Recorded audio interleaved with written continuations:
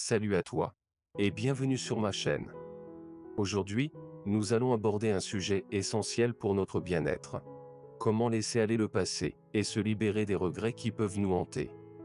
Je suis ravi de partager avec toi ces 5 étapes qui peuvent véritablement transformer ta vie. Alors, prépare-toi à t'embarquer dans un voyage de découverte de soi et de croissance personnelle. Étape 1. Reconnaître tes regrets la première étape pour laisser aller le passé consiste à faire face à tes regrets. Nous en avons tous, n'est-ce pas? Que ce soit une occasion manquée, une erreur commise, ou une décision regrettée, il est temps de les affronter. Cela peut être difficile, mais cela t'aidera à comprendre ce que tu ressens vraiment. Étape 2. Comprendre et accepter. La deuxième étape est de comprendre et d'accepter que le passé est inchangeable tu ne peux pas revenir en arrière pour réparer les choses. Cependant, tu as le pouvoir de décider comment tu vas réagir à ce passé. Accepter que c'est fait et que tu ne peux pas le changer est une étape cruciale pour avancer. Étape 3. Apprendre de tes expériences. La troisième étape consiste à tirer des leçons de tes expériences passées. Regarde tes regrets comme des opportunités d'apprentissage.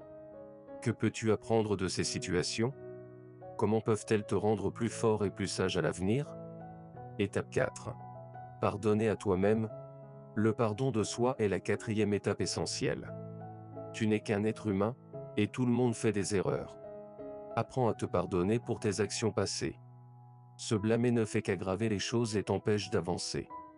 Étape 5. Se projeter vers l'avenir. La cinquième et dernière étape est de te projeter vers l'avenir. Maintenant que tu as compris tes regrets, appris de tes expériences, et te pardonne à toi-même, il est temps de te concentrer sur ce qui est à venir. Fixe des objectifs, crée un plan d'action, et avance avec confiance. Voilà les cinq étapes pour laisser aller le passé, et ne plus vivre avec des regrets. Cela peut sembler difficile au début, mais avec de la pratique, tu seras en mesure de libérer ton esprit et de vivre une vie plus épanouissante. Si cette vidéo t'a été utile, n'oublie pas de laisser un pouce en l'air, de partager et de t'abonner pour plus de conseils sur le développement personnel. Merci de nous avoir rejoints aujourd'hui, et n'oublie jamais que tu as le pouvoir de créer un avenir meilleur pour toi-même. À la prochaine.